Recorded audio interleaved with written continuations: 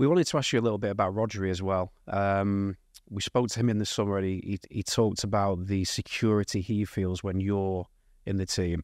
And Nedum and I were in Switzerland uh, for the Young Boys game a couple of weeks ago, and we kind of like focused on Rodri um, throughout the game. And we just we we were both sort of saying he's he's operating at a level now where he kind of cruises through games because he's so good, you know, compared to most people. What's it like from your side having him in front of you? What does what feeling does he give you, and that what strength and security does he bring by being in the team?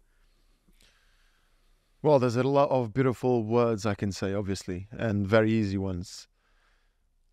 But I wouldn't. I would try not to go there because that's just where everyone would go. But obviously, he's the best or one of the best in his position, clearly. Um, and the things he gives you, he he can be normally number six. I would say is either two things: either very good with the ball, defensively not that good, and or the opposite. And he's just got the best of both of both worlds. Plus, he's one of those players as well. No, and since I've been uh, at this club, uh, it's been very clear to me. Even though I had kind of an impression, a different impression when I saw him play in Atletico, and then when he came here. But then when I came and I was with him every day, it completely changed and what I meant uh, to say was that he's one of those players that whenever the tough times come, he's one that stands out and he, he's there for you. And maybe what I what he said also about me, it's what I have to say about him because he's one of them that when times get rough, he's one I know I can have by my side. Whatever happens, he'll be there. And I think like I said, I can talk about his quality, his vision, his, how much he's improved, uh, the player he is today. Like you said, it looks like he cruises through the games because it's so easy. Even though it's never easy, it just makes it look easy.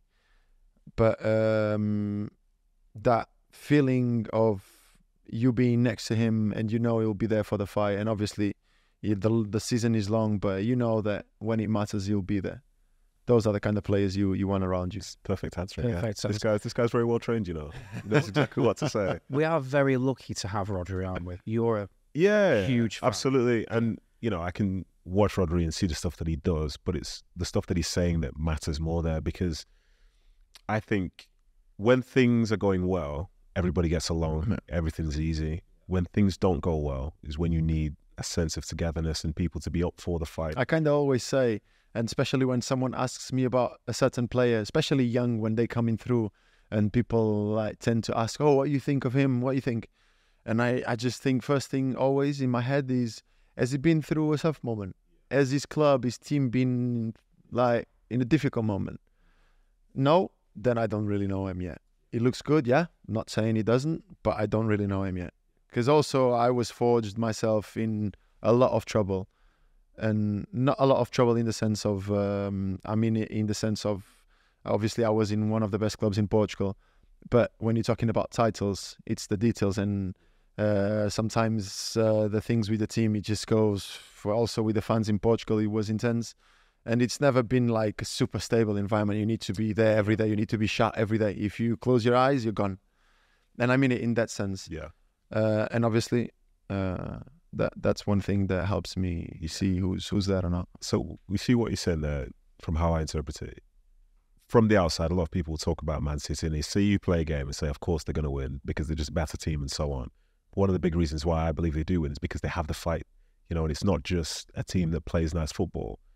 They can physically dominate you. They could outplay you. They will compete. They will match whatever you want to give them, and the quality goes to that next level when you see in the likes of Ruben talking about Rodri in that way, he's a fantastic footballer.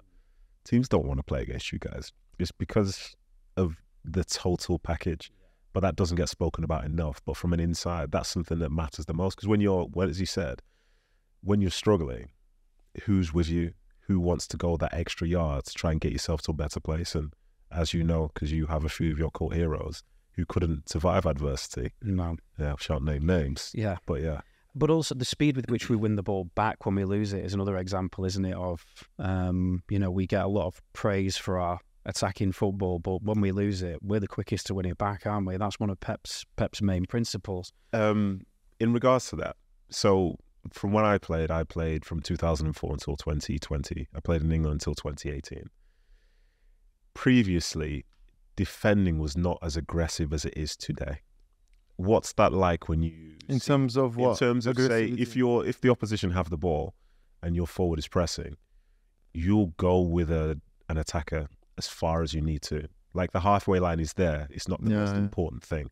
But when I was playing, the halfway line was like the anchor. I had so many defenders that would never you would be weird. You just stand there. If you someone goes, okay, it's fine.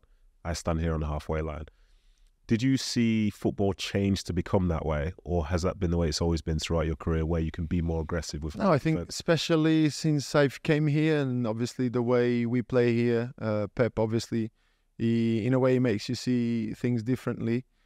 Uh, but also, I think a key factor and the reason why we re- we're able to do it is that, and you were saying about the halfway line. So we play against a team that makes us play men v men on the press, on the high pressing, on the goal kick, and they have if they're very good, they have a position, but then they will float around, you know, and they'll make you like wonder, hmm, should I follow or not? But also, one key thing for me is that I know that if I'm out of position, first of all, we'll always be kind of all in in between. But I know that if I'm out of position, I'm gonna have three guys behind me that will know how to adjust. The same as if one of them went to go, I would know how to adjust and make you work. So you have that comfort, and also obviously we know as well that uh, in this case I'm talking about a men v men, but we know that the ball is gonna go into a certain side, and the moment that happens, we all, we immediately make the comfort the comfort from from the other side. But I think it does make a lot of difference to have the right idea from the manager and also the right players to execute it because in the end, I don't want to concede a goal. If I have to take a decision, uh, I will take the decision that makes me the best able not to concede. And so if I'm in a difficult situation and I see, um, for example, uh, I remember against Munich, Bayern Munich last season, uh, so many times I had to jump in the middle. Uh, don't remember where it was exactly. Uh, maybe Gnabry, another one. But me doing that, I would expose Nathan 1v1 against Coman.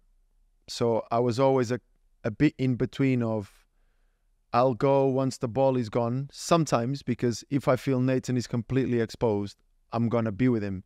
So if the situation requires and we're too late for it, I'm gonna have I'm gonna let Gnabry have the ball. And still you know how aggressive we are normally.